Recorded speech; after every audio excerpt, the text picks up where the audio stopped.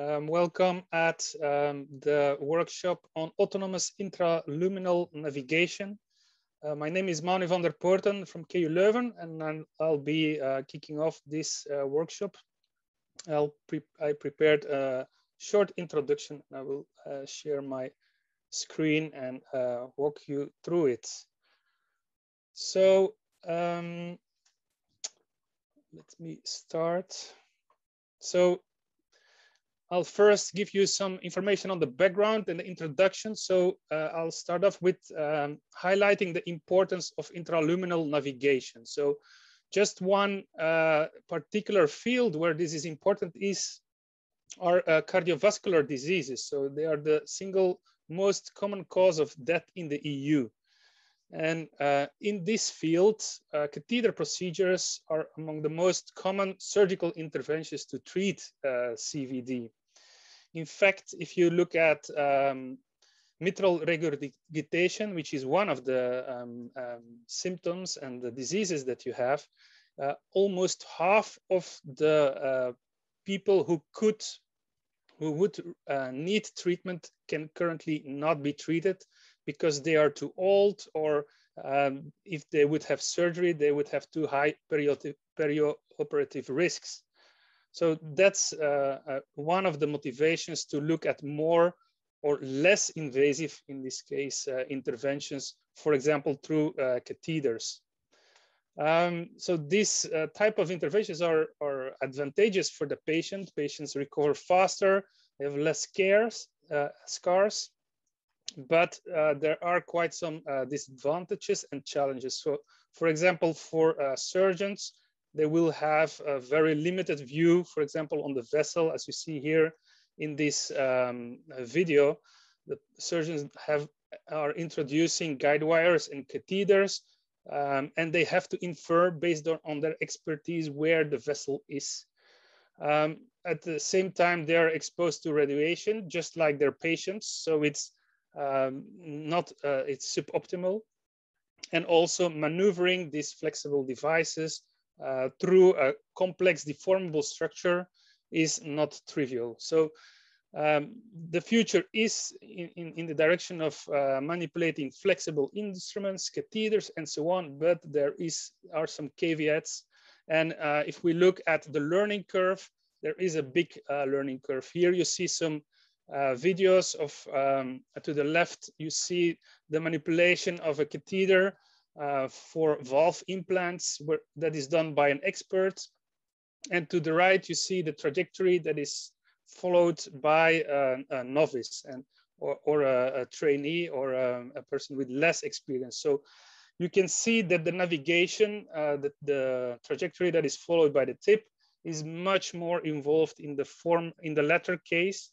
Um, and if you know that these patients are diseased uh, with, with, a lot of calcic calcium and that you do not want to dislodge that so that it gets into the brain, then you understand that this ride situation is uh, far from ideal and should be avoided. So um, there is uh, the hope to use robotics to um, reduce the learning curve and improve the precision. But controlling such flexible devices is quite sophisticated. And, and uh, that's actually uh, a problem that you have in many, many disciplines. So you have like in cardiovascular, if you're navigating through the colon, uh, through the ureter, or uh, going to the lungs or, or, or, the esophagus, you have actually quite some commonalities amongst these uh, procedures. So if we uh, look at uh, solving um, the difficulties in one field, we may actually borrow parts and there can be a cross fertilization. And so that was actually the initiative of uh, uh, the project Atlas that is actually um, um, the origin of this uh, workshop. So we, uh, within Atlas, we are um, training 15 PhD students to um, learn uh, to cope with that, how to develop robotics technology, to improve the navigation uh, in intraluminal situations, how to um, embed autonomy inside of these uh, systems. so uh, that's what is being done in Atlas. And um, for that reason, we actually also set up this workshop so that we can get a view outside of, of, of Atlas work. What is the, where is the field moving? And, and this is actually here, uh, the setup that we have. So we have uh, foreseen four talks. First, we start uh, by uh, Hedyeh Rafii-Tari from Auris Robotics who will introduce uh, the current state of the art, the most advanced robotic systems around uh, in this field. And then we will move to two talks, which are more um, from an academic, scientific um, um, orientation. So it's more um, um, academic and more scientific, uh, but still, uh, so it's gonna be the future. and then the last talk is uh, from uh, Professor Van Leeuwen, who is actually looking at uh, nature and where actually there can be some inspiration that is going to affect, can be introduced into this field on a, a, bit longer term, but that can actually steer the developments there. Uh, so uh, at the end, we will close the session with uh, some closing remarks. Um, luckily, I'm not alone in this um, session. So my colleagues who are uh, co-chairing this session are uh, Dr. Benoit Rosa, uh, who did his PhD in robotics in Marie Pierre and Marie Curie University in Paris. Uh, he won uh, with his uh, PhD thesis, the best PhD thesis in France in 2013. He's a full-time CNRS researcher. he's working in the iCube lab at the University of Strasbourg. And uh, he was recently named uh, in the top three of experimental cardiac navigation papers of 2019 and 2020.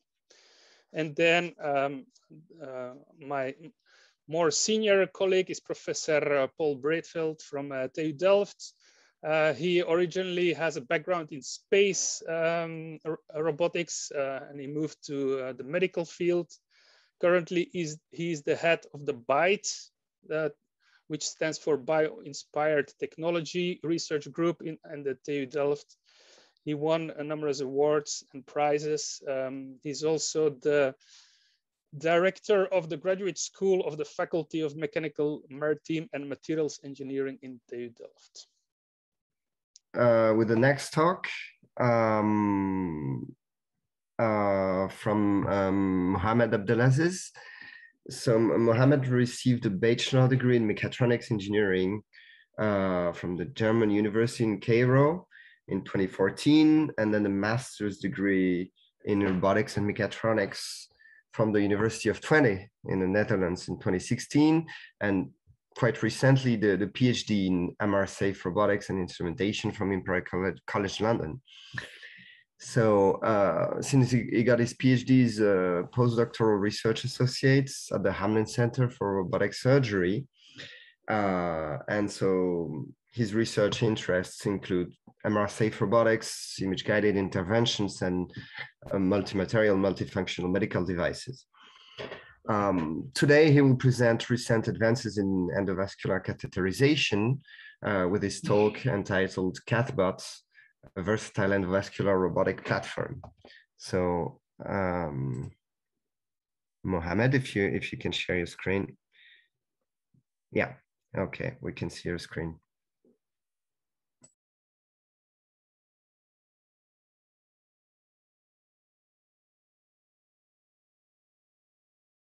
Can you see, sorry, can you see these slides? Uh, we see the probably your view, like the the panelist view. This one is fine. Ah, yeah, that that's that's okay. Okay, cool. Okay. Um, okay. Thanks a lot, Benoit. Thanks all for joining in today, and uh, for the organizers, Benoit, Paul Breedveld, and Manu for the invite and organizing the workshop. Um, so basically, my name is Mohammed Abdelaziz, as uh, was just mentioned, and I recently uh, received my PhD in the field of MRI robotics, uh, more specifically for the endovascular uh, theme. And uh, just a sort of a disclaimer at the beginning, I'll be, the talk will be more directed towards the uh, our journey towards the development of our latest iteration of the system and more so than the autonomy aspects of it. So uh, just a recap of what was just mentioned, I received my bachelor's in mechatronics engineering from the German University in Cairo. And then I received also the master's degree in systems and control uh, from the University of Twente, where I sort of got interested more towards, you know, the, the working towards um, medical robotics and more specifically MRI robotics. And then I was more or less hired to leverage some of the expertise I've gained in the University of Twente in MRI robotics to develop a robotic system towards uh, endovascular interventions.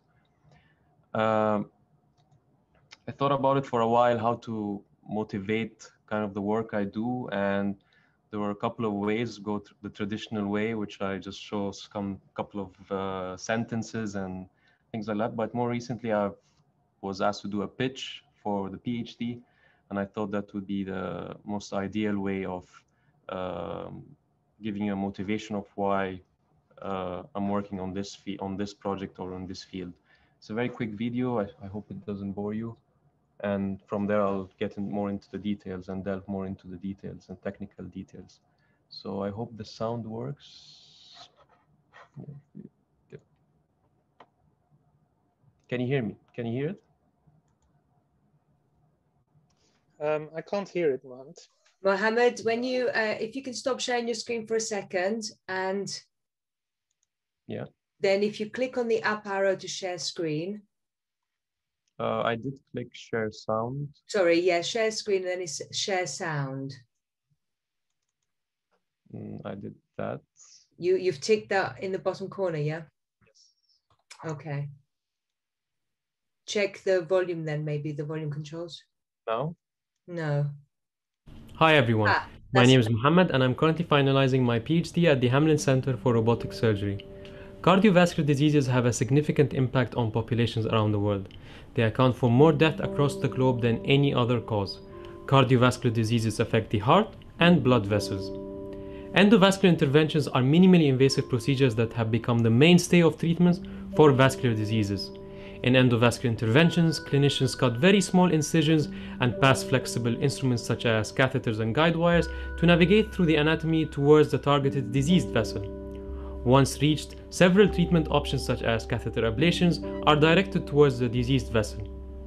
Clinicians commonly use real-time X-ray guidance to provide a roadmap for them to guide these instruments through the body to the areas of interest. X-rays are great in terms of temporal resolution and cost effectiveness, yet still X-ray exposes the medical personnel and patients to higher doses of ionizing radiation which could lead to a sizable risk of cancer. Throughout the course of my PhD, I contributed towards the development of a versatile master-slave robotic platform to improve precision, stability, comfort, and to minimize and possibly eliminate radiation exposure for the patient and medical personnel.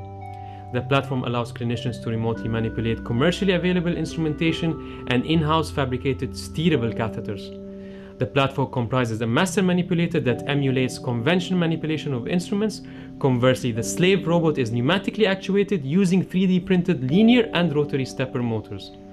As a result of its polymeric nature, the robot also paves the way for endovascular interventions under MRI, an alternative radiation free imaging modality which offers unparalleled visualization of soft tissue and 3D evaluations of pathology and function across the body. As our research and understanding of medical robots and devices move forward, great strides can be made towards improving the quality and safety of patient healthcare. Okay, that's it. So basically, as I Hi. this is more or less uh, a motivation kind of pitch of what is the project about, what was my PhD uh, about as well. And sort of to give you a better overview of our system, here is the kind of the general architecture of our framework. And basically, as I said, the robot is used to perform uh, endovascular intervention, assist surgeons to perform robot uh, endovascular interventions. And the robotic platform, uh, use a laser here, comprises a master manipulator and also includes a components such as the uh, slave robot, or we can call it now more of the remote manipulator, and and also a navigation system. And the only the robot is located within the intervention room, and the robot facilitates the uh, remote manipulation of uh, off-the-shelf selective catheters and guide wires, which uh, follows a very similar principle to the Corindus platform as well. And in contrast, the uh, the controllers and everything are located outside the intervention room to remotely control the pneumatic uh, stepper motors uh, that drive the robot. And real imaging data or real data, real-time, sorry, imaging data from the imaging modalities, whether it's X-ray, fluoroscopy, or MR, are uh, provided to the operator located in the control room using an image grabber. And the navigation system in general provides real-time uh, visual guidance and uh, also image-based haptic feedback is rendered through the master manipulator to guide the third, the third uh, surgeon during the procedure. And this is more or less like a 3D CAD rendering of our compact master manipulator and the core component of this uh, human machine interface uh, considers a cylindrical handle where you can see here uh, that substitutes direct contact between the clinician and instrument. And similar to physical instrumentation, the handle can be rotated and displaced uh, linearly. And this also adapts human motion patterns of um, kind of concurrent object gripping and manipulation and the electromechanical design applied to is applied to both degrees of freedom, which enables the rendering of torque and force feedback, as I mentioned earlier.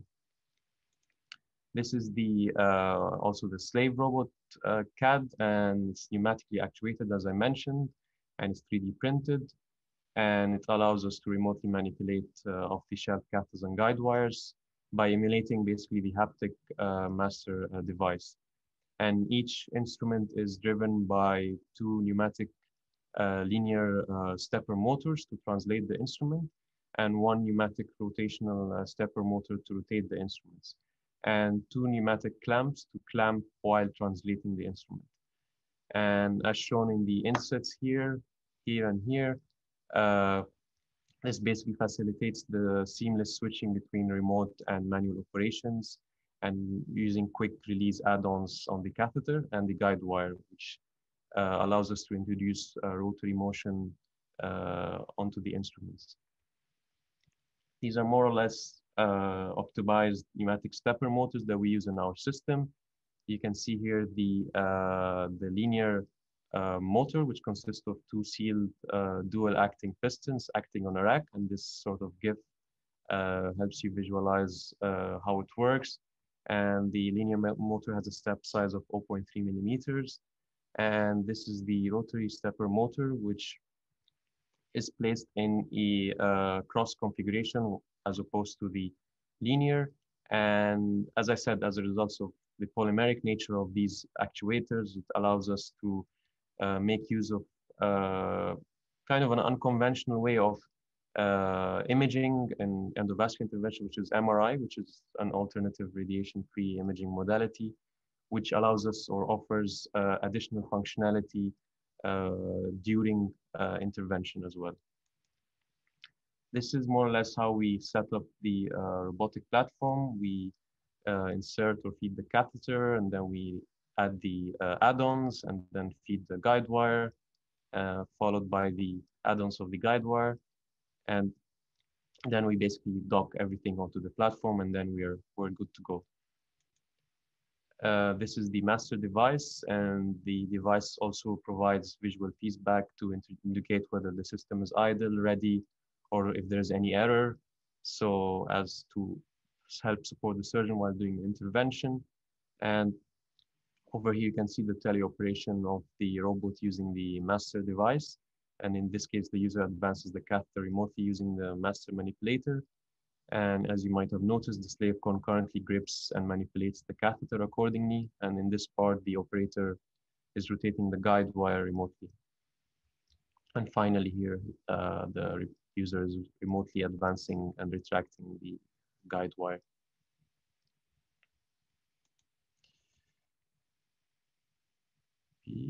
So over here on the left-hand side of the video is the dynamic active tracking of the vessel wall and the catheter tip. And this allows us to render the haptic feedback to the master manipulator to minimize the risk of damages to the vessel and potentially improving the overall uh, precision and safety of the intervention.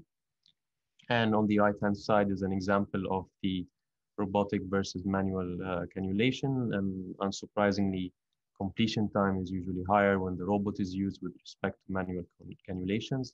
However, the image-based haptic feedback incorporated within the uh, navigation framework I've described contributed towards the uh, reduction in the mean overall forces exerted on the phantom when the robotic system is used.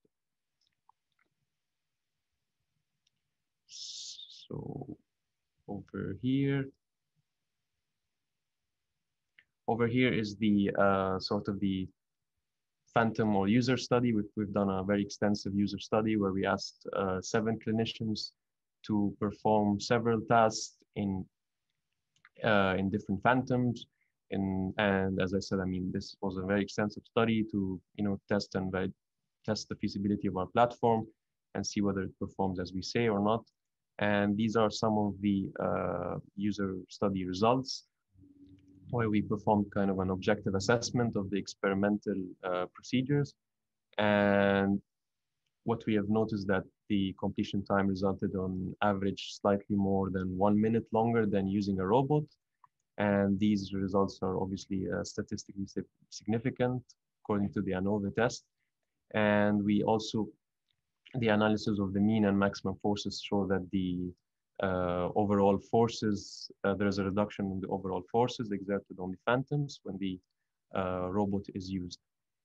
And we can notice over here on this plot is the task completion time with one of the clinicians who did not have experience with the platform prior to, the, to using the platform.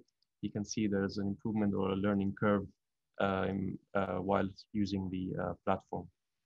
So that was also encouraging. And subsequent to this uh, study participation, we asked clinicians to uh, complete surveys in order to uh, um, you know, evaluate the platform. And in general, the, uh, the clinicians were uh, satisfied with the system control, the precision, and acknowledged the presence of haptic feedback, which is something that's quite limited in, in current manual interventions. And subject, uh, also the clinicians were appreciative of performance in specific uh, um, arteries. And they also addressed the ergonomics and procedural safety. And one of the things that motivated us uh, in terms of one of the statements was that the frequent use of this, they would recommend such systems to uh, their peers as well, which is something that was encouraging. Uh, more recently, or let's say pre-COVID 2019 December, we performed an, uh, animal in vivo animal study as well, where we asked uh, an, an expert endovascular surgeon to cannulate and perform angioplasty uh, tasks in five target blood vessels. And the tasks were performed manually uh, on two uh, porcine models and robotically as well on two. And the metrics used for evaluation included the uh, success rate, the histopathology, and completion time. And when the robot was used as shown here on the right-hand side for the superior mesenteric artery, the histopathology showed a lower incidence and severity of arterial injuries. Um, as I mentioned here clearly, it's two out of 78 uh, vessels were damaged, whereas in the case of uh, manual interventions, 21 sections out of 78 presented high-grade injuries. And as expected, as I reiterated several times before, it took overall uh, more time with uh, using a robotic system, the entire, uh, from start to finish of the whole procedure, uh, than with the manual and kind of finally to benefit from the unique features of MRI, which I uh, mentioned, and, and I think that's one of the things we're trying to push the boundaries of, uh, which is to uh, facilitate endovascular interventions within an MRI environment. We believe that using a robotic system would uh, make things a bit more uh, practical within an MRI environment because it I mean, currently procedures are performed, if performed on pediatric uh, patients, it's very tricky to perform endovascular interventions within uh, an MRI bore with clinicians having suffering from musculoskeletal injuries because they need to uh, put their hands all the way in into the MRI bore, which is very tricky. So in addition to as well, the MRI being noisy, uh, inherently noisy as well, is, uh, is something that clinicians who perform actually MRI interventions do suffer and complain from as well. So having them perform surgeries remotely as well open doors uh, within the MRI environment and allows us to benefit from all the unique features that uh, that the MRI brings to the table as well. And over here is an MRI uh, conditional uh, guide wire being manipulated manually and then robotically. And as I said, when I say MRI conditional, because most of the catheters and guide wires available in the market right now are not suitable for MRI environments. They are not MR safe because they usually are embedded with metallic wires or metallic components. So they tend to either be uh, um, not uh, safe to use within an MRI environment or safe, but they introduce massive artifacts within the MRI imaging. So it's very hard to distinguish between the instrument and the surrounding tissue. So over here, we used an MRI conditional guide wire and we manipulate it manually and robotically. And as expected, the robot did not introduce any artifacts within the uh, images due to its polymeric nature, as I mentioned. So these are some of the references or publications we've uh, published with regards to the um, um, this project in general. And on a previous platform, a colleague of mine worked more mostly on the autonomous cannulations of uh, uh, of, of um, these tasks. And these are three publications that I would encourage people to look into, where we basically used uh, learning-based robotic catheterization, uh, addressing the challenges of manual interventions. And also we, we have a paper where we talk more into details about the haptic feedback and how we generate the haptic feedback using the image, uh, using the images we acquire from the imaging modality. We also talk about the, we have a paper about the segmentation and tracking of the different, uh, of the different instruments as well. And the one I extensively talked about today is the design and preliminary study of the uh, robotic platform and the user study as well. And hopefully within the next couple of months, you will be uh, seeing as well uh, our extensive animal study, uh, the preclinical study uh, paper on that as well. So I would like to acknowledge all the uh, many talented and dedicated and skilled colleagues that I've worked and had the honor to work with. And I would also appreciate, uh, acknowledge the EPSRC for funding this work. And yeah, I'm open to any questions. Thank you. Well, thanks. Uh, thanks a lot for the nice presentation. Um, there was a first question by Ali Nazari in the in the chat. Um, so it's a, it's about the the bending of the catheter tip. So um, you know, in your in your uh, in, in what you showed, you show only translation, both on the master device and on the slave device. And the question is, how is the the bending handled? Uh, is there any human control? Is it automated? So, so can you tell a bit more about that? So currently, I mean, the one the the the things I just showed were uh, focused on selective catheters and uh, selective guide wires. Uh, and what I mean by selective catheters is that the uh, tip of the catheters are have a fixed P shape. So that's what mm. they are commonly used within endovascular interventions. However, there are obviously steerable catheters, and that's something that we have worked on as well, which is to extend the system to accommodate steerable catheters as well that are off the shelf. So basically, you will take a catheter, a steerable catheter, an ablation catheter, for instance, and you would dock this catheter onto the robotic platform, and you can drive the knob that steers the distal end of the uh, catheter. So it's more of a hybrid between the, the pull wires or tendons that drive the tip of the catheter and our pneumatic system that automates or sort of uh, allows you to robotically control the tip of the catheter.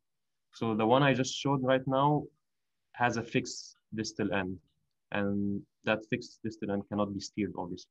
Mm -hmm. Okay, there, there was a, another question in a chat related to um, comparison with uh, available systems. So there are there are a few commercially available uh, system for endovascular catheterization. So what's what's the what, what does your system bring on top of what's existing? So currently, I mean, I didn't talk much about it. Is that we are trying to push forward towards the MRI domain. So mm-hmm. most of the experiments we've done were within a fluoroscopy setting due to the availability, the more availability of fluoroscopy. However, as I said, since the platform is MR safe completely, I mean, the whole thing is made out of plastic. There's no, no metal at all, no metallic components that allows us to push towards the MRI environment and encourage a lot of other clinicians as well to pursue MRI guided in interventions and uh, perform surgeries within the MRI setting where they can not only just diagnose the patient and perform the surgery, also evaluate the treatment uh, within a single intervention. So that's kind of our vision and aim, and that's what we're pursuing at the moment. Mm -hmm. Okay, maybe related to that, to the actually both to fluoroscopy and, and going towards MR, uh, is that and that's something that is often seen with robotic systems is that uh, operation time is longer, and this is also something that was seen in, in, in your in your experiments. Um, so on the fluoroscopy guidance, that means longer fluoroscopy time, I suspect. Uh, which may not be uh, um, the best for the patient. Um, but even even when you're going towards MR, you know, uh, the, the, the cost of operating an MR system is is huge, and I'm wondering, you know, how how do you where do you put that balance between having a robotic system that brings safety, uh, or maybe um, brings advantages, but uh, uses uh, a lot of MR, uh, MR room time, which is a, which is something uh, which is a, expensive. A, expensive and a, re resource, rare resource in a hospital. Uh, so, so where do you put that balance? So, I mean, the numbers we've given are just the, the numbers we've calculated. We know we had some kind of limitations within the system in terms of hardware. And obviously, in future iterations of the hardware, we will circumvent these problems. And we believe we can put this down further down. So for instance, if I say 20 minutes at the moment that it takes longer, then I'll be able to bring it down to five minutes or so. And these were limitations during the intervention itself in terms of the, the design of the platform itself that would lower it down. And another thing I think that people sometimes forget is that uh, clinicians have years and years of experience of performing manual intervention. So if you're going to compare a clinician who just met the robot and started using the robot and expecting him to perform exactly the same uh, at the same level of uh, so i think it's kind of an unfair kind of comparison but as i said i mean i think with the learning curve and that's something we we've shown a couple of times that the learning curve is really uh, uh i think is encouraging and we've seen clinicians get the hang of it in a few minutes. I mean, they just do the intervention ones and they are, they understand the system, especially with the master device that I've shown, the fact that it mimics very well the uh, how you would manipulate instruments normally in a, in a, manual setting allowed them to learn, I mean, learn very quickly how to use the platform. So I think there is room for improvement from the, from uh, time standpoint, but I think we need we don't need to forget as well the, the, the force or the haptic feedback feature as well that allows us to perform a more safe intervention. So the quick answer is we're working on it. And at the same time, I think we can get to a point, an optimal point where we have a safe intervention with a competitive kind of time, uh, time standpoint where we can perform a robotic surgery within the same time frame as a manual uh, intervention. Thanks a lot for the, for the interesting discussion. Unfortunately, we, we're running out of time. Uh, so um, we're going to I'm going to give the floor to, to uh, uh, Paul Breedveld to introduce the next speaker. Thanks again, um, Mohamed, for your, for your interesting talk and discussion. Thanks a lot, uh, Benoit. I hope I'm, uh, I'm audible. yeah. I would like to give the floor to Dr.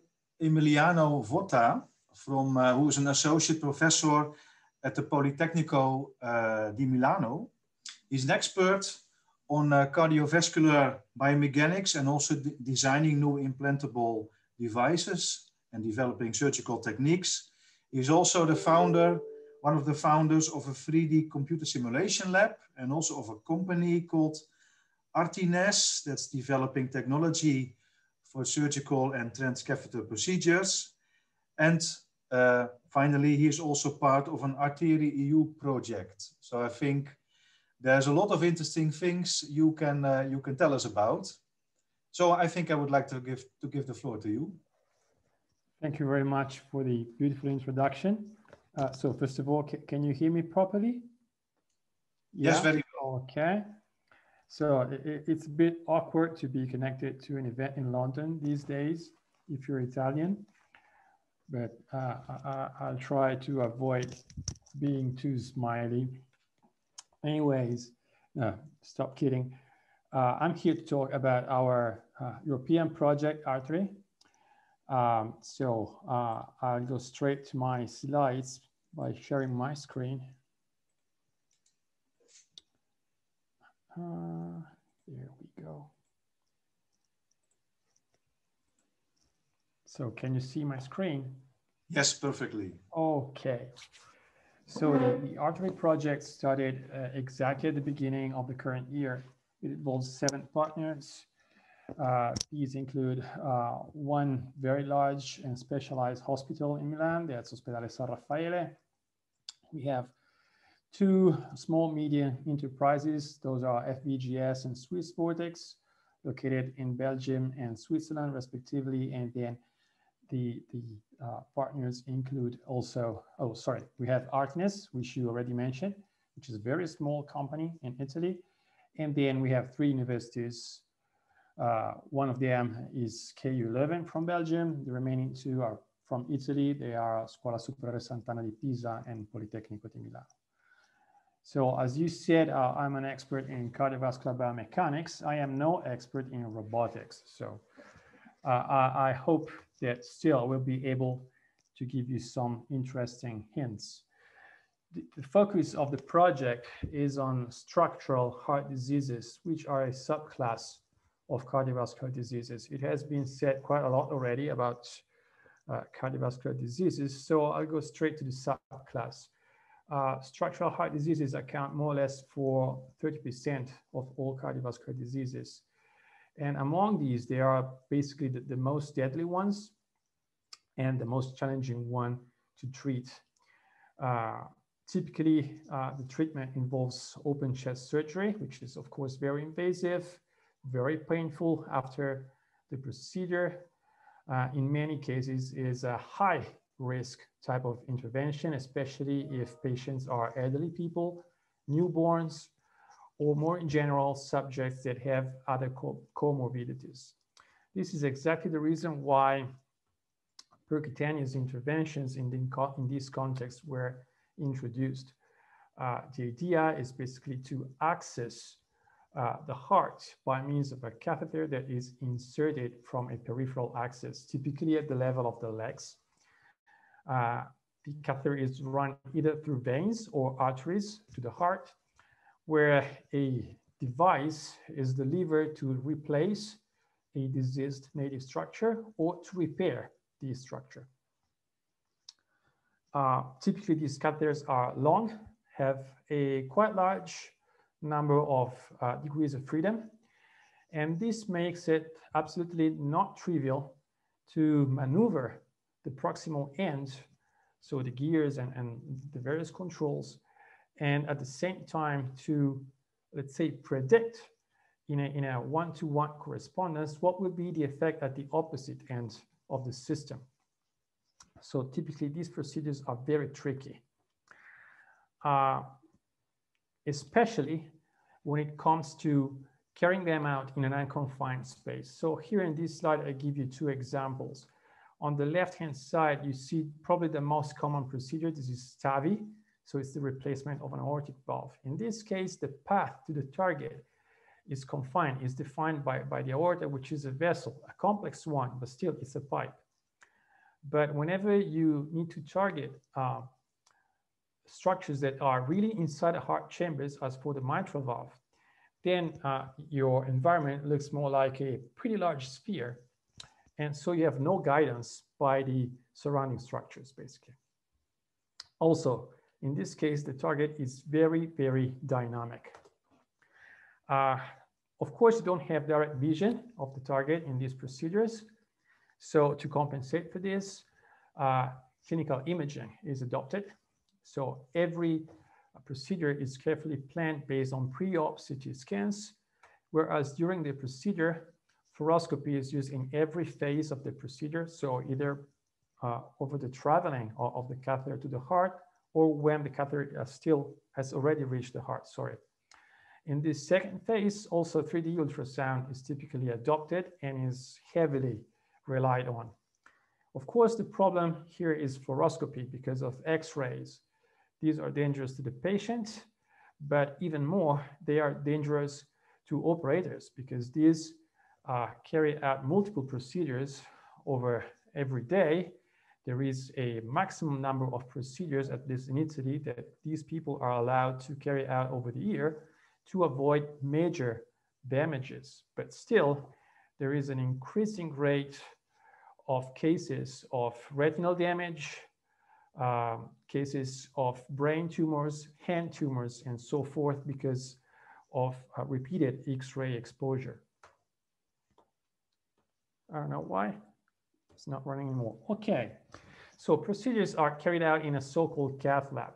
If you would look uh, on Google Images, let's say, for an idealized version of this environment, you would find an image like this one, which is good because it gives you an idea of the hardware you will find in this place. Typically, you have a sonographer here on the left, that's to acquire 3D ultrasound images, a C-arm to acquire fluoroscopy, and you have the physical monitors where images are, are, are shown. Uh, and in this picture, you only see two operators, but this is not really realistic in the real world, what you will see would look much more like this. A bunch of people discussing in a small room in front of images where it's not always easy to interpret things. Uh, for instance, look at this image. Basically, a high uh, part, sorry, a high fraction of the image is occupied by an artifact, which hinders the possibility to clearly see the structures. And these people have to handle controls that can be as complex as the one I am showing here. Very large, lot of nodes.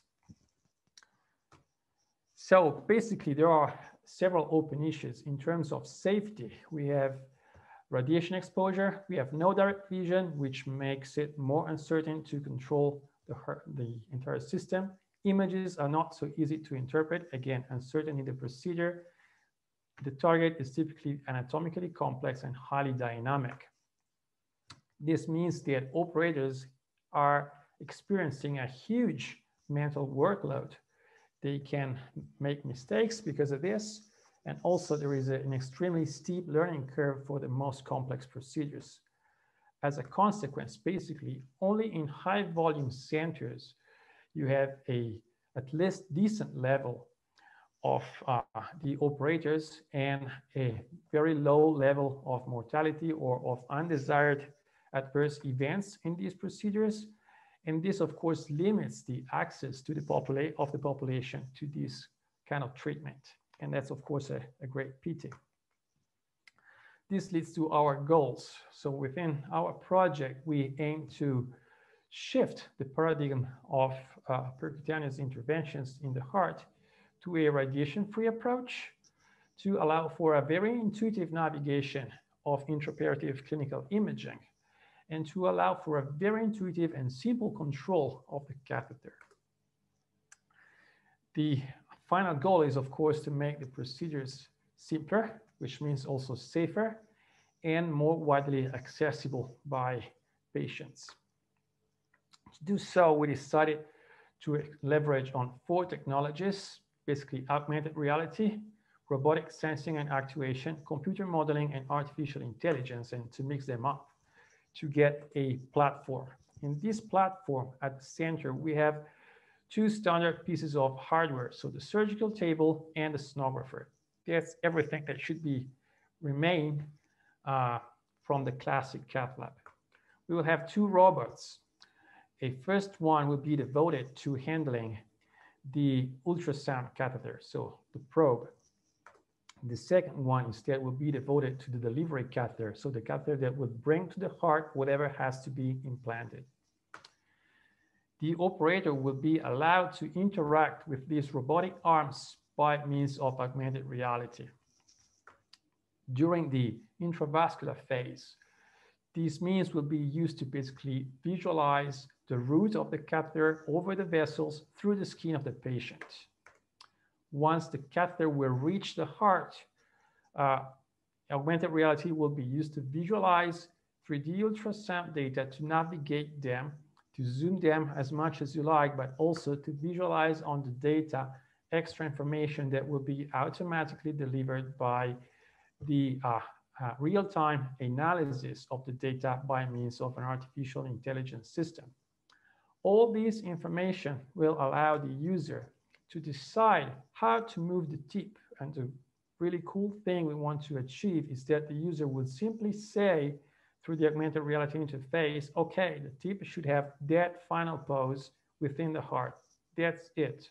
It doesn't have to think about how to manipulate the proximal driver of the system because the information from the operator as well as the information of the 3D ultrasound will feed a second artificial module that, that will lead to basically drive the two robotic arms so to move the delivery catheter accordingly and to allow the ultrasound catheter to be fine-tuned and all always follow in the optimal fashion what is going on to the delivery catheter. That's the ideal goal we are pursuing. We will try this on two use cases. The first one is the MitraClip system. That's a system devoted to the repair of the mitral valve in case of mitral valve regurgitation. It's nearly the most complex system you can find on the market. So it's a very challenging benchmark. And we will just modify the already existing system so to add sensors and robotize uh, the system.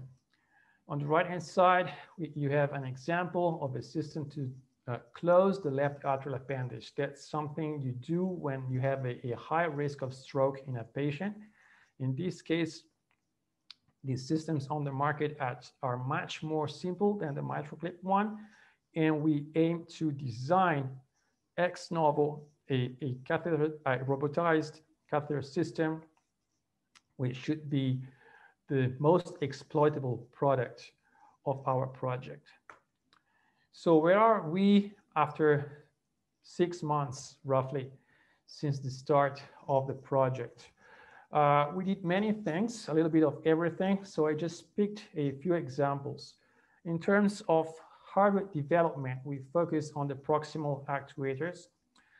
Uh, so as far as the ultrasound catheter is concerned, we don't see big problems. As you see in this picture, you have a limited number of degrees of freedom from the, for this catheter. The catheter is not so small as basically uh, one centimeter in diameter at the tip, which is the thickest part of the catheter. It's quite heavy.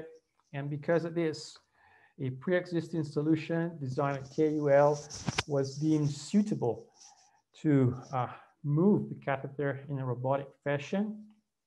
The original system is quite large and it will be miniaturized in the next months. You can see here a preliminary test on a catheter, which is just moved back and forth inside basically a very simple phantom of a hypothetical vessel. Uh, as far as the delivery system is concerned, well, this is going to be a much more let's say, complicated, but at the same time, probably fun process. The system is extremely complex. The catheter is thinner. Also, you have a guide wire on top of that. You have a steerable sheath here. Plus, inside the sheet, you have the axial delivery system. This complicates everything. And if you look inside the controls, you can appreciate the amount of gears that you have there, which are also rather stiff. Actually, it's difficult for a human operator to just rotate things easily. It takes some effort. So we have some solutions that are under development at KUL, but I cannot share them, I'm afraid. Uh, we also focused on the sensorization of the catheters. Probably we'll, we'll end up equipping the system with electromagnetic sensors on the very tip of the system, uh, mostly on the sheath, which is the gray part here. Whoops. And we will also exploit at the same time FBG-based shape sensing. So uh, basically uh, fiber Bragg uh, phenomena. So to be able to measure uh, bending in the 3D space of the catheter. Uh, as far as the intravascular monitoring of the catheter is concerned, we rely on numerical modeling so to simulate the catheter advancing inside a vessel. We decided to use SOFA as a numerical solver. That's an open source platform developed in France. Uh, it is suitable for our purposes because it allows basically to drive the tip of the catheter based on the information we have from the real sensors on the system. And at the same time, you can generate in real time new pieces of catheter at the proximal end and impose an axial velocity, which is what will occur in the real system as we'll have the axial motion imposed by the robotic uh, actuator. Uh, we are a little bit struggling with the stability of the model because of the technical solutions implemented in this solver, but it looks like we are managing to solve the issues. Uh, as far as the intracardiac monitoring instead is concerned, we are now in the process of building the training set for a convolutional neural network for the segmentation of the, of the 3D ultrasound data. Uh, the interesting thing is that so far we, of course, labeled manually the uh, data we had at our disposal, but so to, let's say, limit this manual operation, which would be extremely time consuming if carried out completely in a manual fashion, we implemented an ad hoc tracking system so that for every patient, we just act manually in one frame and in the next 30 to 35 frames of the cardiac cycle, everything is carried out automatically. So this is already a nice uh, result because we didn't find anything like this in the literature. And in this way, we managed to identify the catheter tip, which is in light blue here in the image. Uh, the leaflets of the valve, those are the brown membranes you see there, and the annulus, which is the green line that runs around the leaflets. So that's pretty much everything I wanted to share with you so far. Of course, I will be happy to answer your questions. And these are our contacts uh, here on the right. You can see the Twitter account of the project, the project website. So please feel free to get in contact with me or to go there to have news. Thank you very much. So uh, thank you very much for your very nice uh, presentation, Dr. Votta. If there are any questions, you can please put them in the Q&A. And uh, of course, I have also a question myself. I was wondering, um, you showed all kind of interesting ideas for this uh, augmented reality interface, uh, which should solve, as I understood, the mental load issues from the from the yeah the, the cardiologist. But I was wondering when I was when I was looking at it, doesn't it give so much information that it will give new mental load issues that you kind of get kind of overload of information or are you not expecting that okay um, th that's a very nice comment, actually. So our idea is to basically uh, provide the end user with the same type of, let's say, standard information he or she would receive uh, with the classic system. So you will have basically in the 3D space, in your physical space, the 3D hologram of the acquired volume, but at the same time, we will uh, yield the 2D cut views that the operator would typically exploit to understand where the tip is with respect to the key anatomical structures. The, the nice thing is that basically you can uh, either tilt or shift those cut views with simple hand gestures without directly uh, acting on the probe because everything is already there. You don't need to, to, to move it or, or, or, to manipulate the sonographer. And of course, because you have the artificial intelligence, you can have quantitative information in real time. So things like, okay, the tip is, I don't know, three centimeters away from, from that target. And right now it, has that inclination in space with respect to that axis. That, that's one part of the story the other important thing is that uh, basically we will have an avatar of, of the tip, which will be grasped by, by the actual hands of the user and brought to the final pose. So, so no other inputs, just take the object virtually, place it where you would like it to, to end up uh, with that orientation 3D space. If it's okay, just say, okay, I'm happy with it. And that's the only input the user should give. This was actually the, the initial sparkle of the entirety of the project, simplifying this step, which was a request by, by an expert operator. Uh, and then, of course, we, we realized that to do that, then you need uh, to, control the catheter and to have a robotic system, which needs to sensing, which needs, of course, to navigation and all of the other things in the project. So nice. it sounds rather challenging, but very interesting. And I was also wondering uh, when you go to the other side, to the control side of this uh, of this system. Uh, of course, there is the maneuvering, but there are also certain tip tools that you want to design. So also from the handle point of view, it seems to me quite quite interesting and challenging how to make handles that the user can control, but at the same time having an incredible functionality, given that the user doesn't have 10 hands. You have to somehow, are you also going to do research on that? No, okay. So uh, the two use cases I, showed, they are basically the, the two ends of the spectrum. And in both cases, the, the, the issue you are mentioning is avoided. Uh, because it would have been too challenging, honestly.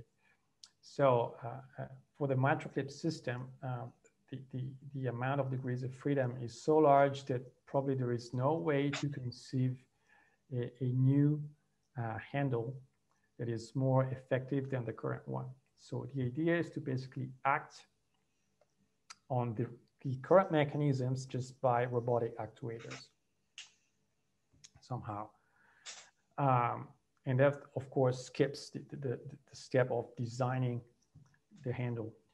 Uh, at the opposite end of the spectrum, you have a system that's for the left atrial appendage closure, where you actually have no, no gears at all. Everything is done by the hand because basically the, the degrees of freedom that you have are back and forth translation and rotating around the axis, with, which is done by the fingers uh, very, very recently, which means probably in the last month, maybe two months, uh, a catheter of that kind was introduced in the market, and that's the only case of steerable catheter for that application. But all the other catheters are pre-shaped, uh, which again um, means that uh, unless we want to do something really, really uh, breakthrough, uh, we don't need to design a handle. Oh, that uh, that sounds good, as not to make it too complex. Yeah. So I would like to uh, wish you a lot of success with this uh, project. There's one question in the uh, Q&A, but it is a little bit specific. So maybe you could have a look at it yourself and answer it.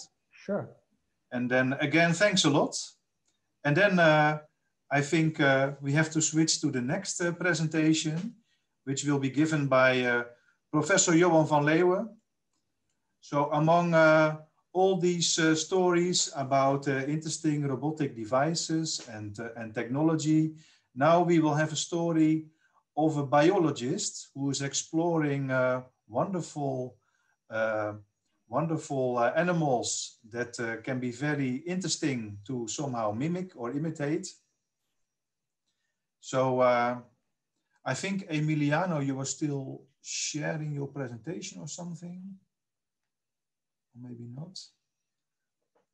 So uh, I would like to give the floor to Professor Johan van Leeuwen, who is a very known biologist, very famous biologist, uh, working at the University of Wageningen in the Netherlands. And uh, nou ja, he is doing wonderful research on all kind of animals, especially soft-bodied animals or wasps, exploring their, uh, their uh, internal mechanisms. So now, I think, uh, Johan, I would like to give the floor to you. Thank you very much, uh, Paul. is everyone able to see my screen at the moment? Yes, but you are not yet presenting, I think. Yeah, so, uh, will, yes, that, is that okay? Yeah, perfect. Yeah, okay. So um, I'm intending to give you two examples today of smart designs in nature. Now, smart designs, uh, design um, uh, is maybe a word I shouldn't use because uh, it, it, it, it is um, developed through evolution. So there's not uh, a big designer uh, behind it. At least that's my vision on nature. Uh, if, if you think otherwise, you are, of course, free to do so. Um, so uh, the topics that I would like to address is the wasp uh, ovipositor. So that is a needle-like structure that is used to lay eggs and that uh, has been the inspiration for steerable medical uh, needles. Um, and uh, also the soft tentacle dynamics in squid. I'm, I'm not sure whether I can do them both. Otherwise, I, uh, I will just do the wasp and uh, maybe you will uh, meet me at another occasion where I could uh, uh, talk about um, the squid. I, I, will I will actually concentrate on the biomechanical mechanisms. So I stay largely within nature and um, uh, because that's that's my uh, task also as a zoology to zoologist actually to unravel these kind of mechanisms. So, okay, the wasp ovipositor, um, uh, by the way, there are uh, loads of other insects uh, like wasps and hemipteras, the uh, true bugs, they have mouth parts uh, with also steerable needle systems which work in a similar way uh, to what we find in the in the wasps. Uh, but um, uh, yeah, for instance, the the the mosquitoes use actually six mouth uh, elements for it, and the hemipterans use four elements, uh, whereas the wasps uh, use three elements. the principles are actually similar.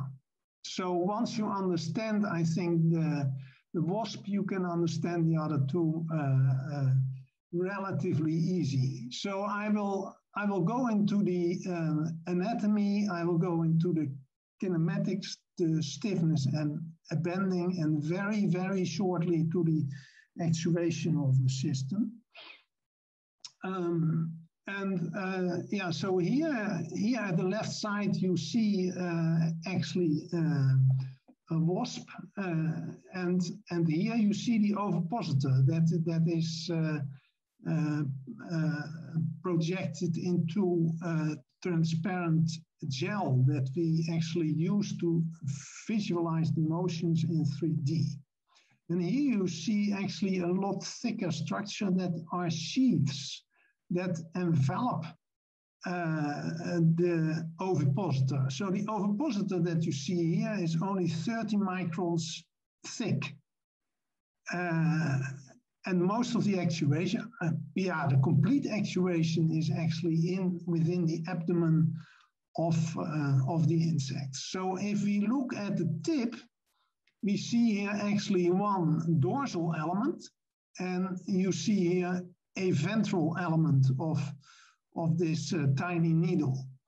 Uh, there are actually, if you if you take a cross section here, about here, then you see here the dorsal element, and here you see um, you see a ventral element and here another ventral element, and uh, they are connected by uh, tongue and groove mechanisms. One here at the right hand side, one here at the left hand side.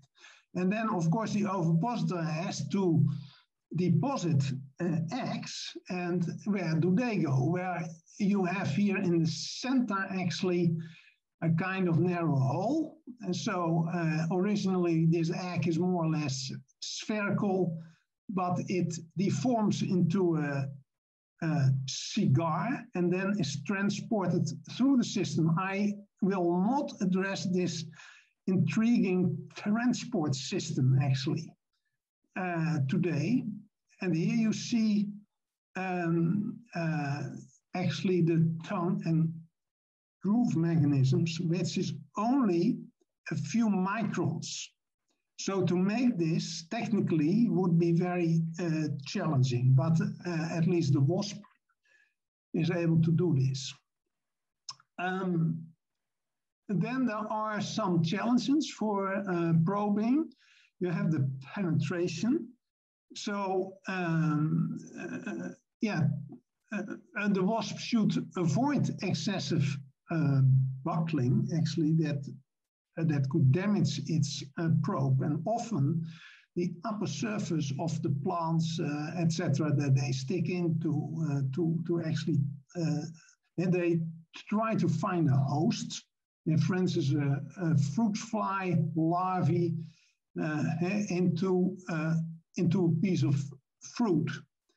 And so they, they can search with their needle into the fruit tissues for this uh, host. And then once the egg is in the host, the uh, egg will grow and the larvae will actually eat uh, uh, and the whole host away until it breaks out. It's uh, rather cruel, I have to say. And uh, well, once you are in the tissue, of course, you have the propagation and the increased friction. So, how does the uh, animal deal with that? And then uh, the animal uh, needs to be able to steer into various directions. Uh, it, it also has miniature uh, sensory systems in it, uh, chemical ones and mechanical ones, to uh, enable it actually to find the host. Um, okay. Um, so how do you avoid buckling? Well, then we can go to a beam.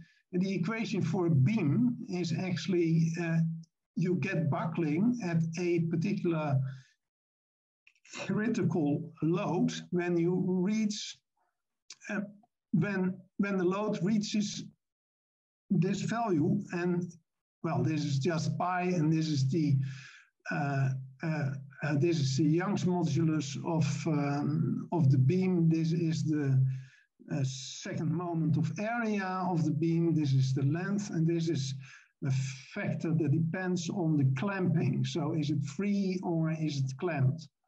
Um, now, and what can you easily do is increase the, uh, the second moment of area. And that's a geometrical property of the cross section. And uh, there the sheaths actually come in. So here, these, uh, these two black uh, bars here, So uh, especially when you have a large distance from the center, you increase very easily this uh, the second moment of uh, area. So initially during the puncture, the sheaths are actually in place, but they can go away uh, as soon as, as say the ovipositor itself is within the tissue. So another, um, an, another um, uh, way to reduce uh, the chances of any buckling is, of course, to reduce the net external load. So you have these multiple elements and you can uh, pull them and you can push them uh, once you go through it. And then uh, on a single element, when, when this is uh, actually pushed in, it will experience a, a frictional load from the neighbors here, uh, a frictional load from the substrate, and also a load here at, at the tip. And, and you see here you have often a serration at the tip. Uh, and that means that the resistance can be asymmetrical once you pull or uh, once you push and that's important. So, okay, how, how can we then advance in the substrate without any pushing actually? Because that is, that is the, the smartness in this uh, solution, at least one of the aspects of it. So uh, if we consider, say, the forces on a single element, uh, then we have the external uh, uh, force here, exerted by the abdomen of the uh, animal. You have the neighboring forces of the neighboring elements. You have the substrate frictional forces, and you have the forces of the tip. And here we have the inertial term. So this is uh, nothing else than uh, Newton's second law.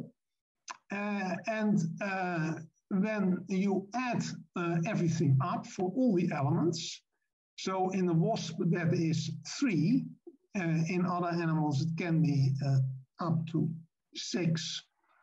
And then you get it, and uh, this, and you get rid of the neighboring forces, and before because they cancel. Mm, so that's just uh, it's just a sum. Then uh, what is then the requirement for the penetration with net negative, so a pulling force. So you you go inwards while pulling at the system. That's possible. Uh, here I have the external force, so it's rewriting this, uh, this equation. So you end up that this whole lot of these forces of the protracting elements, so I've split them up now in protracting and going forward uh, elements, the forces on them and the retracting elements, uh, eh, those, those that you, that you withdraw uh, towards the animal. Um, and then this is the inertial term. Um, and that should be smaller than zero. Um, and if we ignore the very small inertial term, then you can see um, we can uh, we can bring this term to the uh, other side, and then we get this. So the in uh, absolutely you should um, have lower protracting forces, of course, than retracting. Uh, retracting. So that means that your pulling force is higher than your pushing force. How can you achieve that? You can you need that the surface of the protracting elements is smaller than the surface of the retracting elements to have higher uh, friction forces in the retracting elements.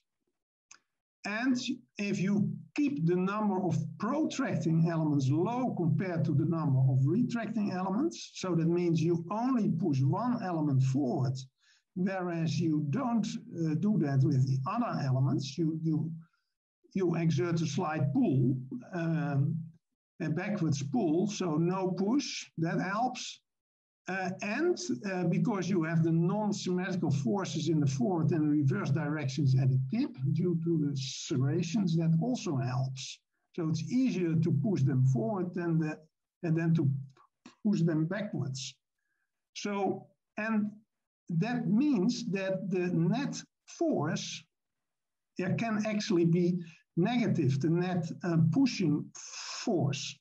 And that um, and that, yeah, then you don't need uh, the additional support any, anymore to, to uh, prevent buckling, but you can also e e easily go through a substrate. And when you would have a motor, you could even detach the whole animal, and that could be a transport mechanism. Now we, we collaborate a lot with the University of Delft and I see Paul uh, smiling because he is exploiting all those nice features to build uh, medical needles and also to make those uh, uh tiny robots that can propel themselves. But this is the, uh, the very principle that has been invented by nature and in, in the simplest mathematical terms.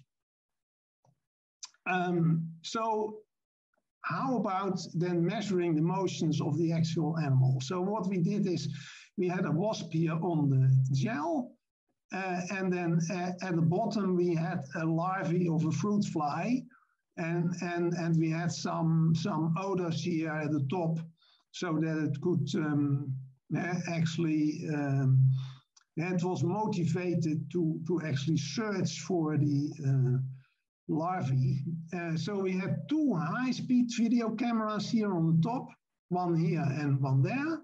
So uh, that allowed us to have three-dimensional image also of what the wasp is doing. And we had um, um, yeah, uh, parallel light beams to actually enhance the depth of field. Um, so that, uh, that is the, um, and we had automated uh, motion analysis because we, we made uh, a, lot of movies of them. So here you see the wasps. So uh, this is from uh, another camera actually from, from the lateral side. So here you see the sheath and here you see the ovipositor and then it drives it in and then at some moment you see that the sheath actually buckle away. Yeah. Um, so that's uh, so here here you see movies where we can look at what where the uh, ovipositor goes in the gel. So initially it was pushing this way and then in this way. So yeah, it can push from the outside in any directions, and, and, and you see that this animal doesn't need any rotation of its body. It can just stay where it is. We uh, checked that also for, with, with a video from above. And here at the right-hand side, you see the extreme flexibility.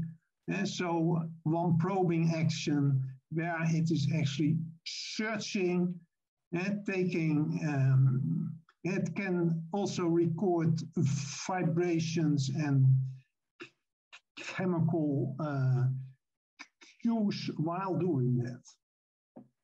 Okay. Um, so we recorded loads of motions of multiple animals. And here you see at the left-hand side, you see the, the records of one of these uh, attempts of an animal. Eh? So, and here from the top, you see that in two gels, one is, is, is with a low concentration and a high concentration. The high concentration actually stiffer. So there is a slight tendency, uh, uh, tendency that the animal reaches further to the side with its, uh, when it has a, uh, a weaker gel, a less stiff uh, gel. But as you can see, with respect to the animal, uh, yeah, it's it can go around this whole circle if you look from above. Yeah? And, and when you look from the side, then you see this. So effectively, what this animal is able to is to uh, search in half a sphere for the larvae.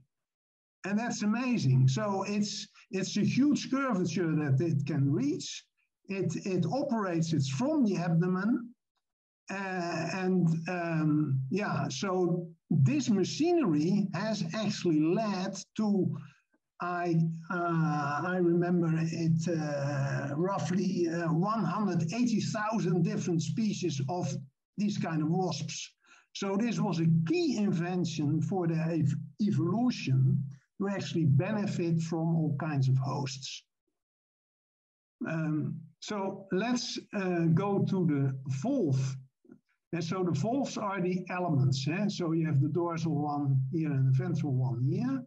So, and what you actually see is that they move up, uh, up and down with respect to each other. So we have, we have a kind of offset and we can actually plot it through time. And we have, we have access to the speed of, of the valves and also their uh, relative offset. Uh, and what you already see, so it curves and, and what it can do is make an asymmetrical tip and it helps to bend. Um, so here you see another record where you have a straight insertion. Uh, um, and so it's going more or less straight. And then we see here an alternating uh, dorsal and ventral valve speed. And here you have uh, you have two phases where uh, they do it in synchrony. This was the soft gel so in the soft gel, they are also able to just push and to go forward. Uh, um, but usually they alternate. And they, uh, in, in a very stiff gel, they have to rely on the alternating motion. And here you see the tip orientation, the red. So it's very, very small. So, so it's a straight path here. And here you see the offset between the valves. Now we go to the next one, and this is a curved path. And what you already see is that we have phases where actually the ventral valve is sticking out a lot. And once it does so, it, it, it goes into another direction because of this asymmetrical curved uh, tip. And here you see that they go more or less in synchrony, but not exactly. Otherwise, they would not be able to make uh, to make an offset. And here you see that the tip orientation varies a lot eh, in contrast to the to the straight uh, uh, path. Um, so we can conclude now that the that the buckling is prevented with the external sheets and the low uh, pushing force or even negative pushing uh, forces. Of course, the substrate affects the kinematics a lot, and the speed, the curvature, and the type. It is the interaction. It's extremely hard to model. If you want to model this, uh, then uh, well, go ahead with it because that is that is really very very complex um, interaction that's going on. Uh, uh, we have the alternating uh, motions, always say in, in the stiffest gels, but not always required in the soft gel. So, and when it is going straight, uh, we have predominantly a dorsal valve production. When it is curved, we have um, the ventral valves uh, protecting, uh, protracting. So then uh, the steering, so uh, obviously when you have um, an asymmetrical tip, like here, a bevel uh, tip, then uh, then there is a lateral force component, so that tends to uh, uh, deviate the path. So how can you then deform the tip? Well, this is one mechanism where you have a kind of interaction here when you push or pull one. Uh, then, then you go to the uh, to the left or to the right. Um, here you have um, you have a system where you have a pretension. So the tip, uh, when you extend it bends. Yeah, and and here you can see when when when you have variable stiffness along the uh, along the probes, uh, you can um, if you shift them along um, each other, uh, and you can have huge uh, differences in the curvature. Okay, so uh, we have um, a straight insertion, mainly dorsal valve uh, protection, and mainly ventral valve uh, protraction when we have a curved insertion. So um, when we take uh, when we take the system out of out of the substrate and manipulate it ourselves, then this is uh, this is the neutral position. So when we project the ventral valve, you see that this curvature vanishes, and that's because this part of the dorsal valve is very stiff. Um, once we do the reverse, it also vanishes. So uh, that uh, and so this is um, uh, this is a mechanism to change here actually the local curvature of, of the beam. And we see that when you uh, protract uh, the ventral valve, then it will bend in this direction. Okay, now, what we also did is we, we made measurements of the geometry and, and we estimated material properties. I go now a bit, a bit faster. The geometry was, was measured with uh, the Swiss light source um, uh, where you have high intensity uh, X-rays where you can reach high resolutions. So we could uh, measure with, uh, with this system the anatomy in great detail, especially around the tip. Johan, um, if I may interfere, it's a slowly time. yeah, yeah, yeah, yeah, yeah. And we also did the histology. Um, uh, and you can do more or less the same. So what we uh, did is we measured, uh, we measured actually the second moment of area, and uh, for the whole beam and also for the other, uh, for the for the ventral valves and for the dorsal valves. Um, we did three-point bending uh, measurements on on the systems, and then we could um, we could compute EI, which is the effective stiffness of the system, and also the the the Young's modulus of the system. So we uh, that uh, that was our way actually to get uh, uh measurements of uh, so of the so of the second moment of area and and also the stiffness uh, of of the material. Um, and if you then go to the actual mechanism, then what you see is here. This is the neutral position. When you push this forward, this will straighten out and you get an, uh, a force directed from this side on the system. And when you do the reverse, you get also an asymmetrical force, and that's how you can manipulate the tip. Um, right. Then we looked also at the abdomen. I'm nearly there. Uh, also with the Swiss light beam. So we could, uh, we could take uh, uh, images of the skeleton inside, but also reconstruct the muscles. And then what you see is the dorsal valve actually connects to this element, and you have the ventral valves. They bend here, so they run into the, and they attach to this uh, skeletal element. So you have a rotating motion that is converted in a, in a linear motion here. And there are two main muscles that drive the system. So once you pull this back, uh, you have a protraction of the dorsal valves. And once you do the reverse, um, the ventral valves actually project uh, uh, tract. There are two groups that I know of that worked on those types of needles. That is, that is Imperial College. They also made a tongue and groove mechanism. So, uh, and they, and they used four elements instead of, uh, yeah, here, here's a version, I think, uh, also of three.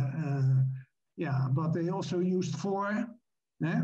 And, and then in Delft, they uh, combine uh, the, the, the needle elements, they increased the needle elements, and then uh, ended up with seven. So with a central one, by not making those tongue and groove mechanisms, but having an external sheet around it, and the advantage of the latter is actually that you can make it thinner. Then Paul will be able to answer all the questions of those of those mechanisms because he was involved. Uh, I think both both designs I like, uh, and they have their uh, uh pros and cons, obviously. So I, I I end up with this movie so I'm not going to tell you more about the, uh, the squid because I don't have the time. But uh, this is an animal that is uh, almost uh, uh, completely built of soft tissues. And I think if you look at needles and um, uh, other systems, what these animals have in the tentacles actually is um, that they have they have a motor system that uh, is distributed along the length of the of the tentacles and the arms. So um, and they can regulate the stiffness in smart ways. They can also attach with their uh, uh, uh suckers to all kinds of systems, and we can still learn a lot from it, but it was all already uh, a large inspiration for, for uh, especially the team in Delft to build uh, various medical devices. Johan, I'm afraid I have to stop you now. Yeah, well, thank you very much. There is one one question, uh, but it's in the Q and A. But it's more a comment. What a beautiful and complete conference, and I fully agree on it that uh, it was a very nice uh, lecture. Maybe a, a small uh, comment, the needles that we designed in the end are now uh, uh, about uh, 0.4 millimeter thick overall. So we, we came quite, quite small, although still much thicker than the, than the ovipositor itself. So Johan, I would like to, to thank you very much.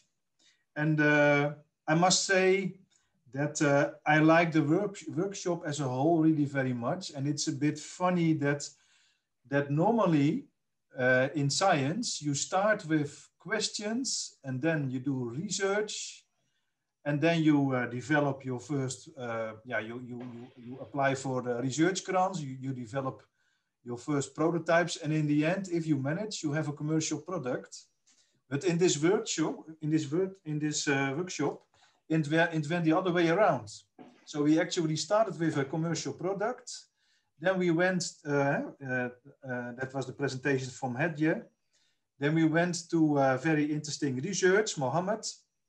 Then we, we, we continued with a project that's just running for six months now. It was uh, Emiliana. And then we ended with research on, yeah, on, on, on, on wasps. And we ended actually with a big question. So how does this squid work?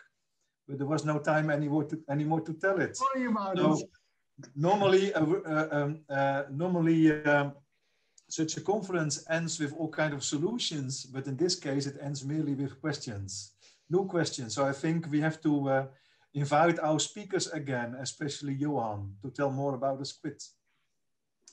But overall, I found it very enjoyable and uh, it was uh, really nice to hear you all and to see uh, all these novel uh, uh, ideas and, uh, and constructions, and then to end with biology that can do it much better, of course.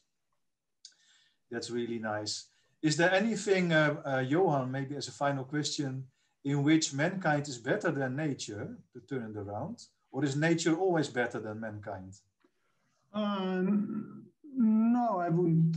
I wouldn't say that. Uh, of course, um, uh, nature and mankind have have different uh, um, solutions eh, to solve uh, uh, problems. Um, uh, we have, for instance, aeroplanes which which can be very heavy. That that that would never be nature could could not, uh, all, although it is it is nature because we designed it, of course, but um, after all, but um, uh, but um, yeah, muscles um, um, the muscles uh, generate the power of motion systems in animals, and um, they have advantages above above uh, motors uh, because they can operate at a very low temperature.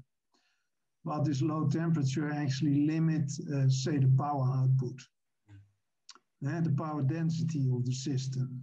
Uh, so the, the, the, low temperature is, is, is an, an absolute advantage.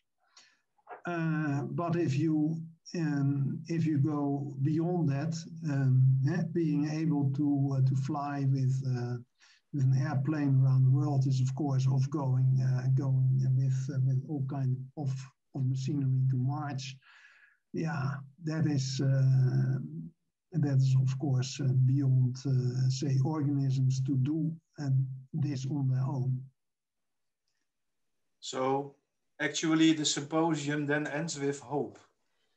Yeah, so it started with a product, it ends with a lot of questions, but also hope that maybe we can even develop something better than nature.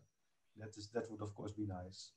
Yeah, it depends. It, it, it will depend on your applications. I was I was very enthusiastic about what I saw this afternoon. All the all the inventions made uh, to do to do uh, surgery. We we really need that, of course. So I I have the highest respects for all those inventions, actually. So is there anything, uh, Benoit and Emmanuel, that you would like to add? Or shall we, slowly, shall we slowly close the no, session? I just, I would like to thank everyone. I, I would like to thank Marianne Knights, especially for uh, all the organization and, and uh, the publication, the publicity through, uh, through the website was perfect. Uh, would also like to thank the speakers uh, one of our speakers indicated that uh, he could listen for hours more to Johan van Leeuwen, and I'm convinced that Johan van Leeuwen could actually talk for more hours. Yeah, but I think that, we'll uh, have to do that maybe next year in the next uh, conference. Next year, another topic: tree frogs, uh, uh, or or or squid tentacles, or whatever you would like. Yeah. Super. Okay, thanks a lot, everyone. Yes, thanks a lot. Thank and uh, have fun, have inspiration from all these stories. So, wish you a fun bye. day. Bye, bye, Thanks Emiliano. to the organizers for inviting us. Thanks to all the speakers for, for the presentations. Thank you. Thank you. Thank you, Mohammed, as well. Yeah. Have a nice day. Okay, thank too. you very much. Thanks a lot. Cheers. Thank you. Bye. Bye. Bye. Bye. Bye.